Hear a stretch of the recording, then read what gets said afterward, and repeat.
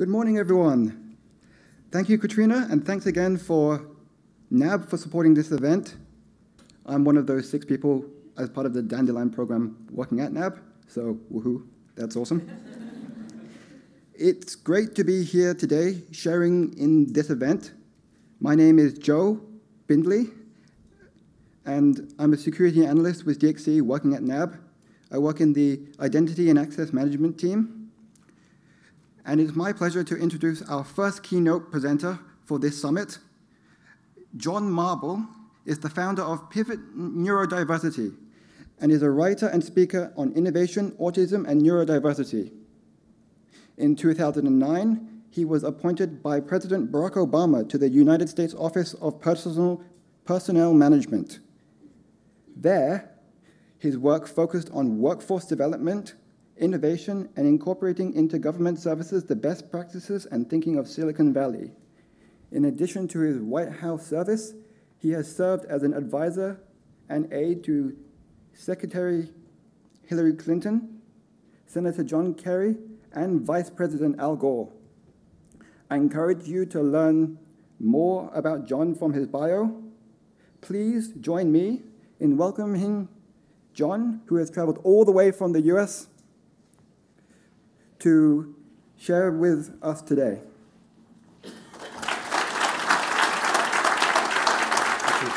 Thank you.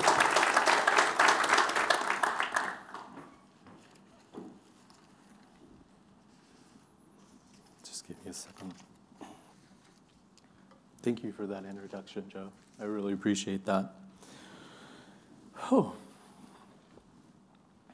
10 years ago, I would not be standing on this stage. And 10 years from now, I should not. While there are many people and programs and things that got me here today, I really have to credit the vision and the leadership and the persistence of one person, and that's my former boss, President Barack Obama. And what will determine whether or not I return here in 10 years' time will be due to the vision and persistence and leadership of one group and that's you. It might sound a bit odd that I'm asking for your help to make sure that I'm not coming back in 10 years' time. Happy to come back next year. Everybody has certainly been welcoming. I've loved Australia. Thank you for everything. Thank you for the Tim Tams. They're wonderful. in teaching me how to Tim Tam slam. but I do want your help in making sure that I'm not here 10 years from now. And if you give me a bit of your patience and a little bit of your time, I'm happy to explain why. Some of you here may be familiar with autism.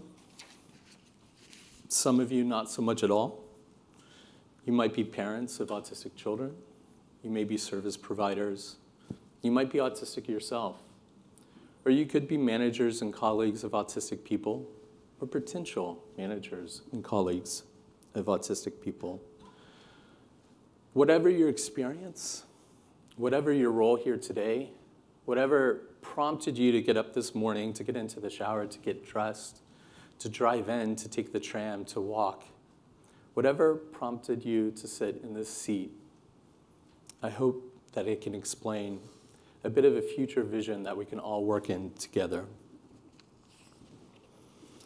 So one of the things I do that Joe mentioned is I uh, is still working here? I uh, think and I write and I speak on autism, so I think about autism all the time, particularly as it relates to autistic employment.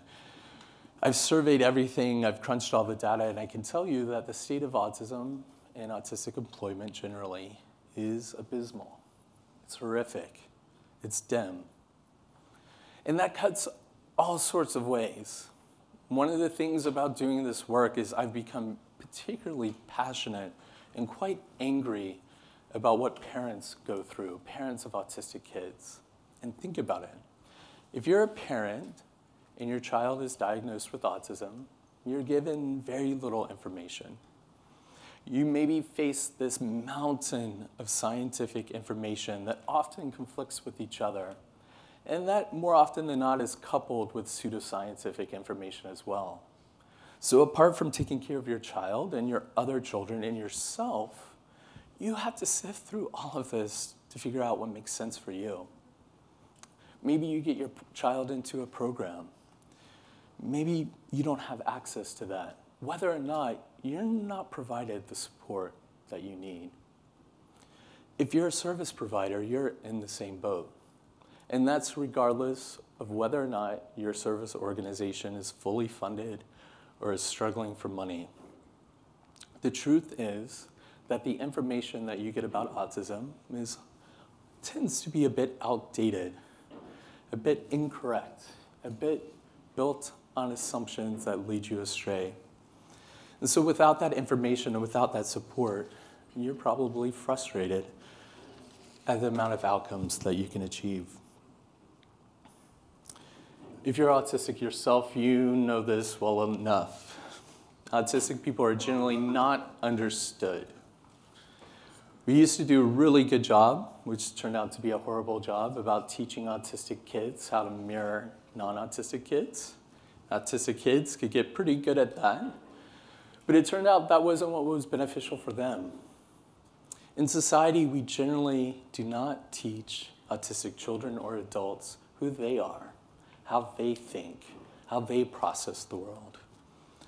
And we don't teach them how non autistic people think and experience the world. And therefore, we don't teach them the appropriate navigations and translation and second language that they might need to integrate themselves into society. And if you're a manager or a colleague of an autistic person, you have to deal with all of this. and I'm sorry that this is the front end that you have to deal with. But it's the product of where we are. So, apart from autism, I know that sounds a bit bleak. Sorry. it sounds a bit bleak, but it's actually a great thing because we're in this wonderful moment where we can shape the future so it's going to get hopeful. I don't want you to be totally down about this. But I think about this dichotomy between things, about how things are and how they could be. I do that with autism. I also do that with the future of work, how work is changing. It's why I work in Silicon Valley, how everything is shifting, how what's required of us today will not be what is required with us tomorrow. And if you think about your current state of work, ah, we probably all feel the same thing we're probably all exhausted. We all feel taxed in our job. We all feel like we have to do more with less resources. And if you don't, please tell me where you work. I might want a job there. It sounds great. But that's the state of where we are. And the truth is, those pressures will continue to advance. In San Francisco, I'm on the advisory board of a group called the American Artificial Intelligence Forum. I don't particularly know a lot about artificial intelligence, but I know how people work and how technology and processes shape our work, which is why I'm on the advisory board. And one of the things that I've learned being on the American AI Forum advisory board is that our perceptions of artificial intelligence tends to be wrong as, the, uh, as members of the public. We kind of think about these artificial intelligence and robots coming to take our jobs, but that's not particularly the case. Instead, what will happen is we'll slowly see aspects of our work shift to become automated. And we have to be nimble and flexible enough to adapt to new ways of doing things. And that can be a great thing. One of the advantages of that is we have an opportunity to make a more equitable workforce, a more inclusive workforce, to not just think about how artificial intelligence and technology shapes our work, but how our own attitudes and approaches and management shape that work as well. Also sounds a little bit daunting, but it's a good thing, I promise you. But this is the sort of thing I think on now in Silicon Valley. And this is the sort of thing that, um, did you want to just go ahead and cut this mic off so it doesn't bring. So this is the sort of thing that uh, I think about now in Silicon Valley, not just autism, but the future of work, how work is changing, what all those implications mean. And it's what President Obama asked me to do when I had the privilege of being appointed by the White House to the Office of Personnel Management. And it started off, that wasn't my background. My background was in mass communications, how we communicate with people, but I always loved solving wicked problems. And so President Obama came to our team and he said, John, to be fair, my boss's name was John and he said it to him, but my, bo- my boss passed it along. By the way, that boss was wonderful. Uh, the Honorable John Berry, he would eventually become uh, President Obama's ambassador to Australia. And I sorely regret not visiting while my former boss uh, was an ambassador here. It would have been a great trip. Um, but he said, uh, John, I want you and your team to make government cool again. That was the directive. What does that mean? That was the directive. But what he meant by that, because he had the vision and the foresight and the persistence, was we have a federal workforce of about 2 million people in the United States, a civilian workforce. And it was an aging workforce. And it was a system built where if you started your career, you expected to work the next 40 years for that particular agency or job and then retired. But it turned out that that's not how reality works for most companies. It certainly wasn't how millennials wanted to work. So we had this desperate need to attract millennials to federal service. So I went with my colleague, Matt Collier, who now works in Singapore. And starting in 2009, 10 years ago, we made repeated trip after trip to Silicon Valley.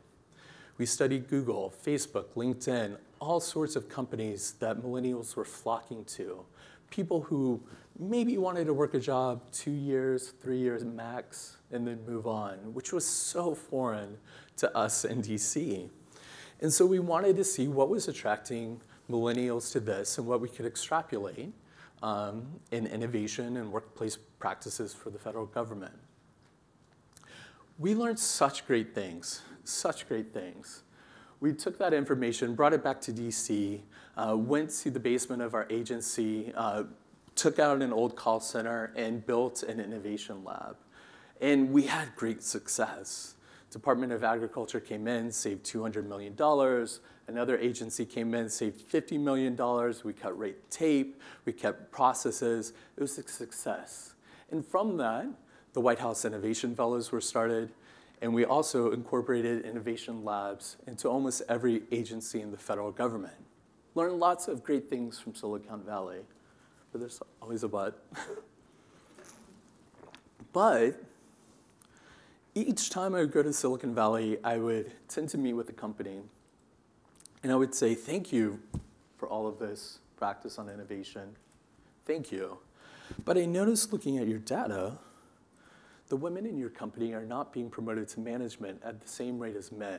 And actually, it's a pretty big artificial gap. There's something that's blocking that. What are you doing to solve for that? We're trying to solve for that in a particular couple of pockets in the federal government, and I'm desperate for models. And the response would tend to be the same. What are you talking about? We're open for anybody. Anybody can work here. But the problem was, is that most companies in Silicon Valley are started by a couple of guys who go to three or four schools, who hire three or four people who went to school with them, who hire 10 people and 20 people.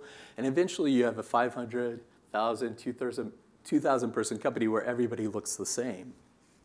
And so our government scientists were freaking out, as I was, because we could see the artificial drag that this was having, not only on Silicon Valley's output, but on our national economy as well. So I was desperate to solve for that. And I was thinking deeply on this when I returned from a trip in Silicon Valley.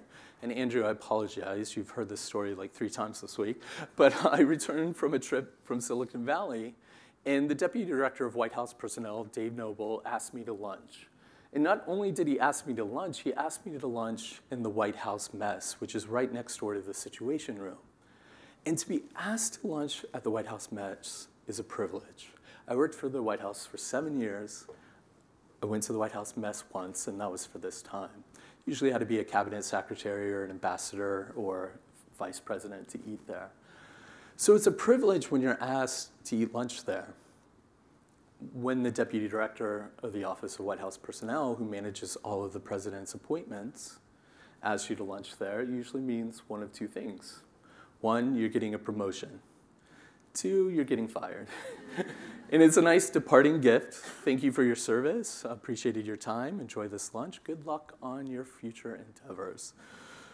It turned out I was not getting fired. Unfortunately, at the time, I was not getting a promotion as well. But uh, it turned out Dave just was interested in my work and wanted to catch up. And so we were talking, had a great lunch. And there came a moment at the end of the lunch that really changed my life and really helped me to understand neurodiversity. And some of you know this. I said, Dave, I have to tell you something. And only my parents know, and my doctor, and my best friend. But I'm autistic, and I've struggled my entire life to hide it. And I've struggled to make my own accommodations, and I'm really proud of the fact that I've made my own accommodations. But it's gotten to the point at my work that I need to ask my manager for a small accommodation, and I don't know how. It got dead quiet. It felt like my heart stopped. It felt like about 10 minutes went on. Was probably about a quarter second, but it felt like 10 minutes. More nervous than I'd ever been in my life, apart from right now. but his response changed my life. I sat there in silence, and Dave turned to me and said, John, that's fantastic. You're autistic. I have no idea to this day what kind of look I gave him at the time, but I'm sure it was like horror and confusion because he prompted me at that moment. He said, John, have you never thought about autism that it might have been a help to you in your career? I said, No, of course not. Because up until that point, my entire life, I had felt shame. He said, John, come on, think about it. It's like, I've known you a long time. And it's true, he was a former boss of mine in a previous job. And he, we were close enough that he could say, You're definitely an odd guy. I'm like, Yeah, that's true. He's like, But you think about things differently. It's like, think about the projects that we worked on in our previous job and think about what you work on now. He said, Look, John, it's my job as deputy director here to look throughout all of America for the top people to recommend to the president that he appoints. And I am constantly not only looking for the best people, but the most diverse group of people. Because if I have a bunch of smart people in a room, and if they all are the same, the problem that they're solving isn't going to get the answer that we need. We need a diverse group of people to look at things from different perspectives. So yeah, I will help you get your accommodation. I'll, talk, I'll help you navigate that with your manager. And to this day, I can't even remember what that accommodation was. I think it took like 30 seconds. Um, but I remember how he made me feel and what he said to me. He said, I will help you get your accommodation, but I need you to accept yourself for who you are I need you to figure that out. And then at that point, I need you to lean into who you are because we need that at work. We don't need somebody who's hiding. That was some really tough love that he gave me, but I, it was the tough love that I needed.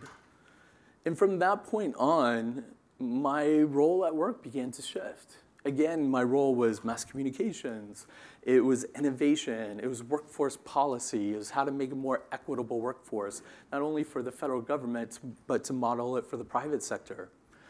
Yet something interesting happened as soon as I accepted that I was autistic, and as soon as I realized that, oh yeah, maybe I see things a little bit differently than most of my colleagues. And what happened was, almost unconsciously, I began to be pulled into meetings that I, of subjects that I knew nothing about. One was about Ebola, and it looked like it was about to jump the Atlantic. And we were trying to figure out how do we stop Ebola from jumping the Atlantic. The other was we've got a lot of ticked off Americans with our security lines at the airport, and they're demanding shorter time at security but we want to keep or increase the level of security that we enforce. It was all sorts of things. It was how do we respond to this intrusion by a former government, by a foreign government who's launching a cyber attack on us. All of these things I had no portfolio knowledge about, I had no training about, but I became a benefit when I'm pulled into those meetings simply because I had a different point of view. And I wish I could tell you was autism magic, but we're, we're not some magical creatures. We're normal people just like everybody else who experience the world a little bit differently. And while it's true we have unique strengths that often play out at work, we tend to be really good at pattern recognition. The biggest benefit I had was simply being different than a homogenous group, and that made all of the difference. So I left the White House and the good thing about working for the president in the second term is that you know when the president's job is going to end, yours will as well. Uh, autistic people tend not to do that well with change, so I had a pretty, once the president was reelected, I'm like, okay, I got four years to figure this out. Um, and I went to friends and they helped me figure this out, and the White House was very gracious with its appointees and helping them figure that out. I knew I needed to go to Silicon Valley because it just drove my passion about this artificial drag that Silicon Valley was creating by the lack of diversity. So after the Obama administration, I moved to Silicon Valley. And naively, I thought there would be thousands of people coming to work on this problem in, to help Silicon Valley clean up its culture, um, become more diverse. It turned out not so much. it was like me and a couple other people. And because I'm autistic, I can say all of my colleagues who worked for the White House knew how to parlay that experience into great jobs. Uh, it's a pretty good thing to have on your resume to say that you worked for the President of the United States. But when we're talking about themes for this year's summit, we're talking about transitions, and that really resonated with me because I've noticed over and over and over again that autistic people can get really good at the job in front of us, but navigating the transition to something else can be extremely difficult. Uh, so I moved to San Francisco, had a bit of savings. Uh, when I was at university, I worked in a warehouse and I worked in construction building buildings. So immediately, that's where my brain went. Immediately took a minimum wage job in a warehouse on an assembly line. Um, meanwhile, a month later, I'm getting calls from tech companies on my lunch break asking for my advice, and I'm giving away free advice. And it took a friend pulling me out of that warehouse to say, John, I think you might have some skills that go beyond the warehouse. I said, but I'm getting really good at, these, at these repetitive tasks, and I think I've increased productivity on my line by 30%. I did, 35%. Um, but it was soothing to have like this repetitive task for me, and it was soothing to have that security. He said, John, you need to push yourself. So I did. I started interviewing, getting frustrated that I would get interviews for jobs in Silicon Valley that I was way overqualified for, but I would fail the phone screenings and I couldn't figure out why.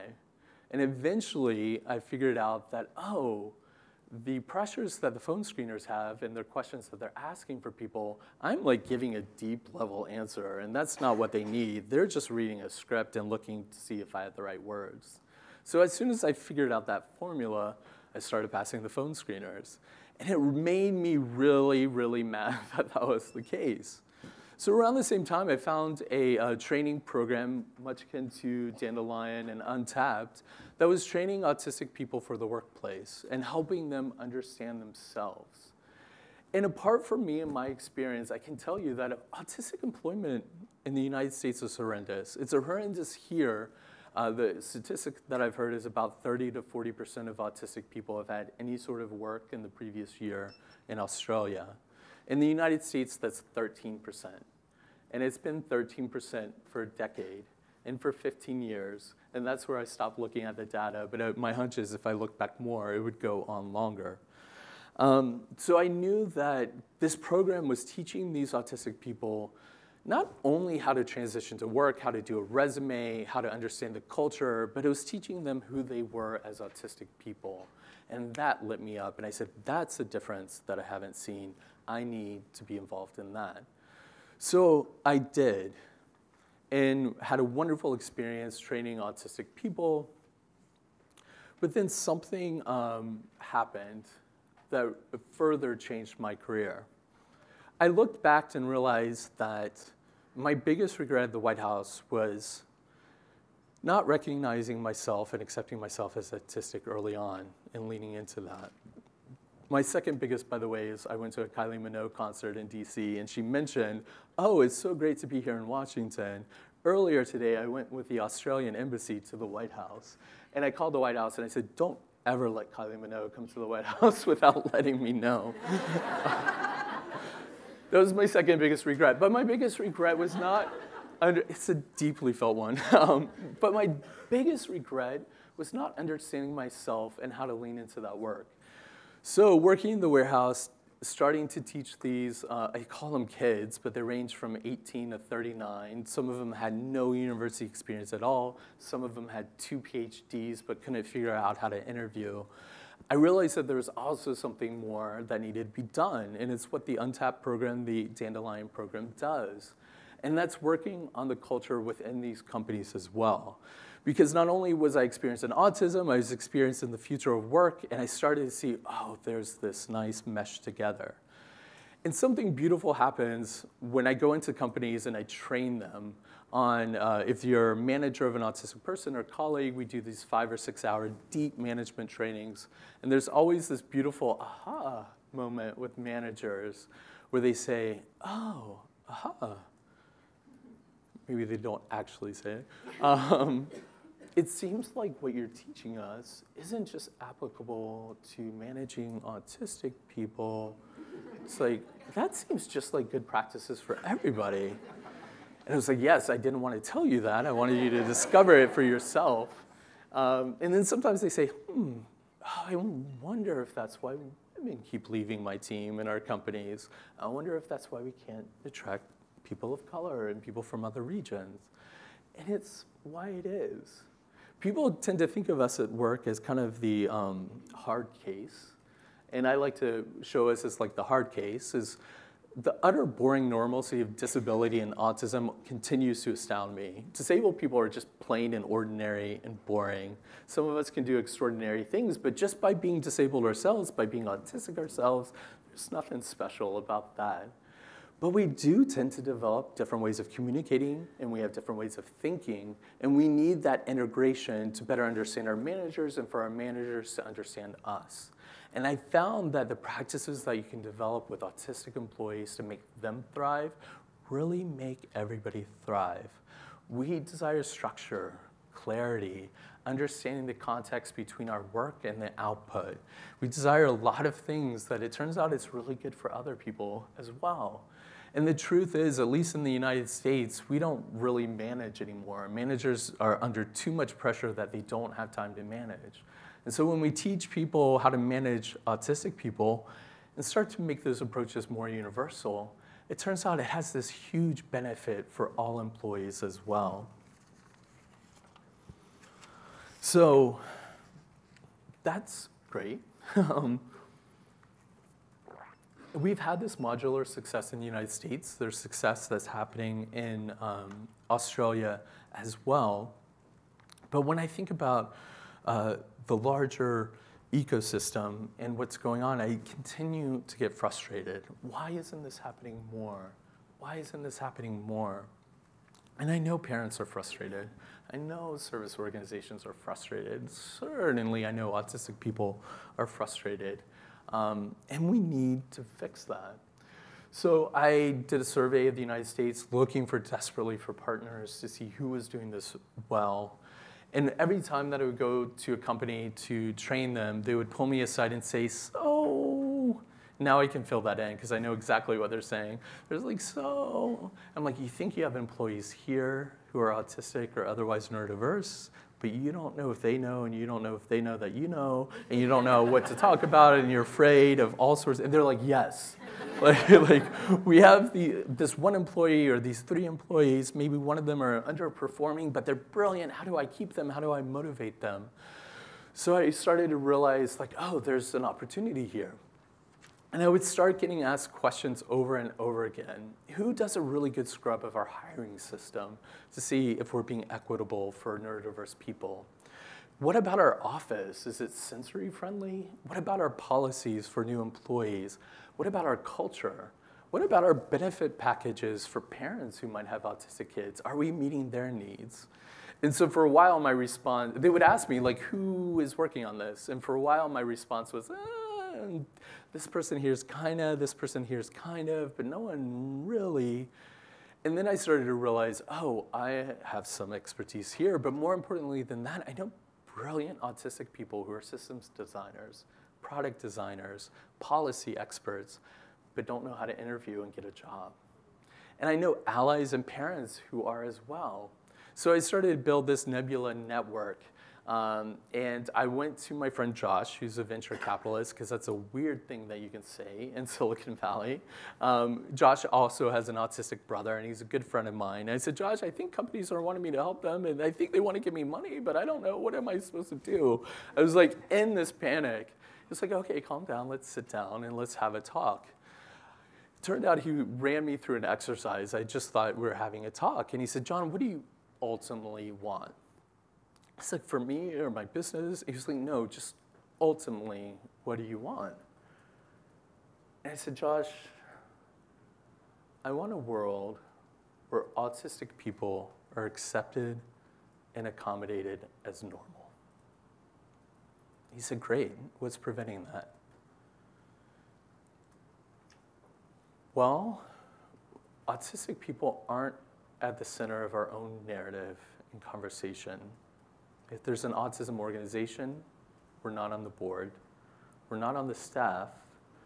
If there's a tech product built for us, we're not designing it with the designers. If there's curriculum for us, we're not designing it as well.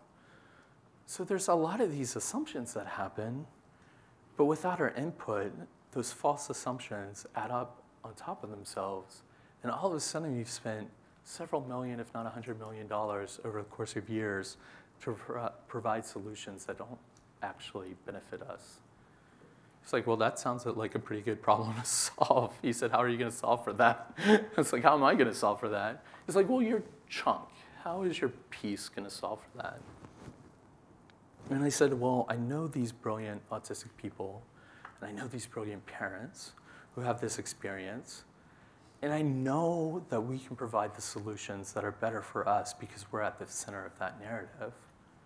And if I can provide those solutions and if we can have success, then I can model that upwards. And I can start to demonstrate why autistic people should be at the center of solutions for us. And we can make the case of why we should be included. He said, great, start for that.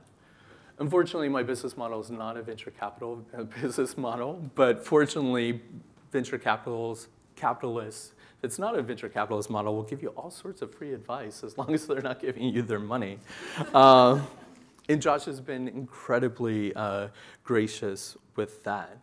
So a lot of that is what we've been working on. I started a company called Pivot, Pivot Neurodiversity, which is helping companies support their existing neurodiverse employees, helping them to point to trusted partners like you have here with the Dandelion program and Untapped here, the partners that we trust in the United States.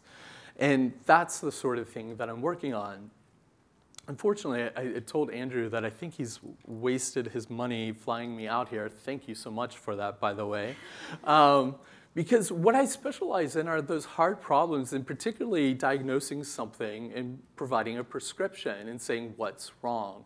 And in the United States, with a lot of autistic employment pro programs, there's a lot of things wrong. That's my expertise. But what I've seen here in Australia has astounded me. I've really been shocked. In the Dandelion program, in the Untapped program, at NAB, at ANZ, at the places that we've gone, I've seen autistic people at the table. I've seen parents with them at the table. I've seen autistic people designing the curriculum for autistic people. I've seen autistic people working as managers, as mentors, and that's making all the difference. So at the next United States Autism Network Summit, I hope a lot of you will come and help me share with those companies in the United States the models that you've learned here. Because the two main things that I've found to make these successful programs is integration of autistic people and understanding of us and more open communication. I can tell you with the uh, Untapped program with NAB and ANZ, I was astonished that you have these uh, three-year pods of new employees that you bring into the company and that's great. In the United States, that's usually where it stops. And now companies are struggling with, uh-oh, it's been about three years. These people are wanting to grow and move on. What do we do here? But you have that foresight here. And I likened it earlier today to like when you're a kid and you go to the fair or the store and get a goldfish in a little baggie and you bring it home and the person says, well, before you put it in the bowl, just put it in the baggie in the bowl and let it acclimate. And then you can open up the baggie and let it out. And when I see these programs here, that's the model that I see. It's not keeping these autistic employees in that baggie for their entire life.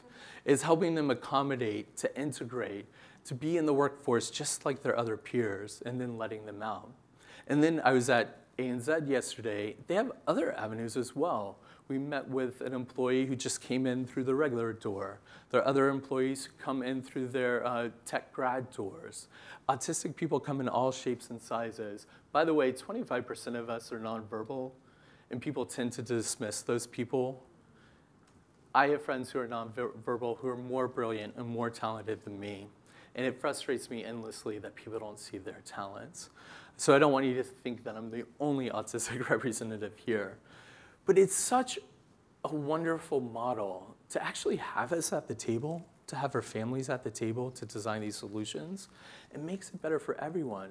And as I think about the future of work, not only is it making it better for autistic people, it's really approaches that make us more nimble and more communicative and more accessible for all of our work as well. And that's really the power there.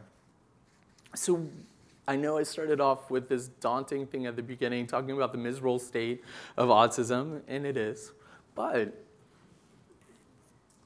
what a privilege we have to be at this point, to make a difference, to change how we work, not just for autistic people, but for all of us.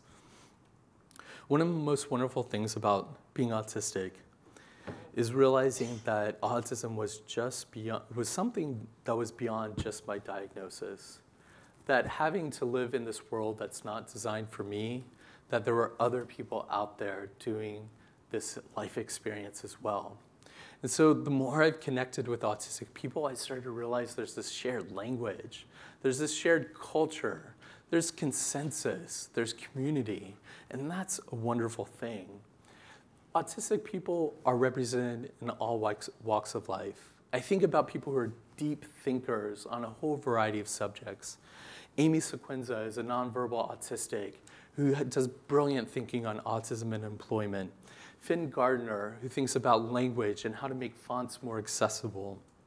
I think about Sarah Luterman, uh, who is just one of the most brilliant women that I know and could pretty much solve any issue that you give her. But I'm thankful that she's helping to solve solutions for autism. I think about Ari Ne'eman, uh, who I have to give credit to because sometimes people introduce me as uh, President Obama's first autistic employee. Um, technically, that's true, but Ari was appointed ahead of me uh, to an advisory board for the federal government. Um, I was there a few months earlier, but I wasn't out. So I will give Ari that credit, but what a difference it would have made if I was comfortable and if I was out. I think about Maxfield Sparrow. who's a transgender autistic man in Colorado, working with National Geographic on a news story. Brilliant. He lives in his van because he struggles to find employment and housing, but is one of the most brilliant thinkers that I know. I think about Judy Singer here in Australia, who coined the term neurodiversity. Um, and I'm so thankful for that. And it's a term that I would never thought that I would understand myself. I think about Morénike Giwa Onaiwu, who thinks about autism from diverse perspectives. These are all people who are just deep thinkers on autism who happen to be autistic. Then I think about the doers. I think about Ryan Fenn in New York, who's a fashion vlogger, who I watched her coming out video on autism, and it was, I couldn't understand it, not because uh, of uh, anything that she was saying as an autistic person, but because I wasn't a 21 year old and I had no idea what she was talking about. When she said, so guys, yeah, so I'm like hella autistic, and like, but she's this African American young woman in the fashion industry in New York sharing her experiences. Greta Thunberg, He's leading 1.7 million people in protest the other week, 16 years old in Sweden. She had this beautiful photo with my former boss, President Obama, a black and white photo, and it was meant to show kind of two generations of leaders. This uh, older African American man and this younger 16 year old Swedish girl. And she's autistic, and he's looking at her, and she's looking this way.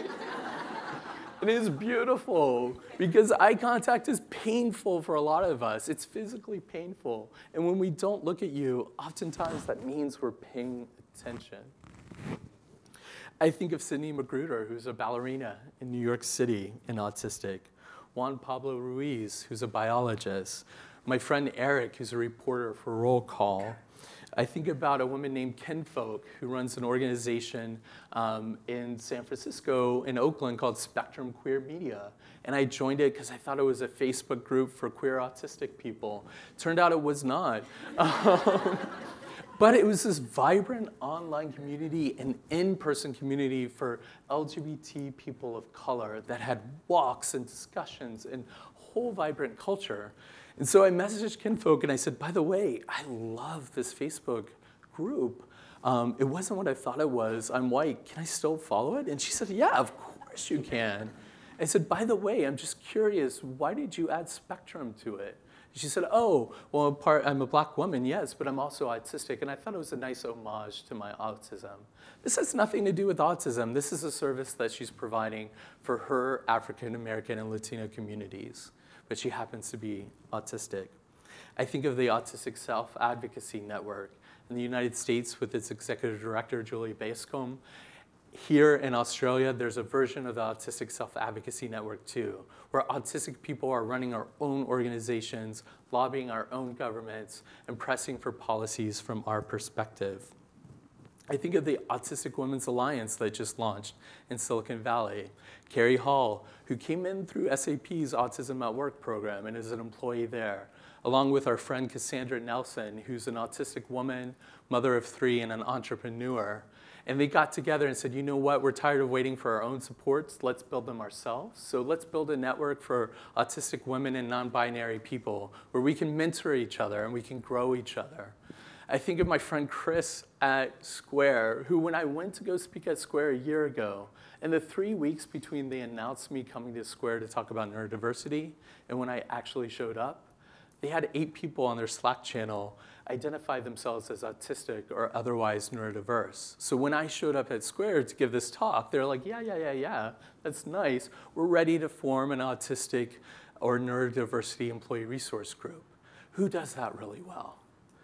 Said, you want to be the first? so they were. They formed an employee resource group. And then they found employees who were parents, employees who are otherwise neurodiverse.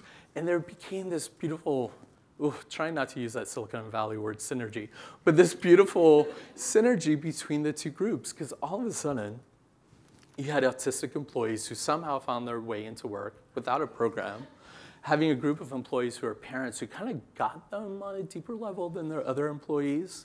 And then you had this group of parents who had this group of autistic employees who got them on a deeper level than other employees. So now Square's been promoting that.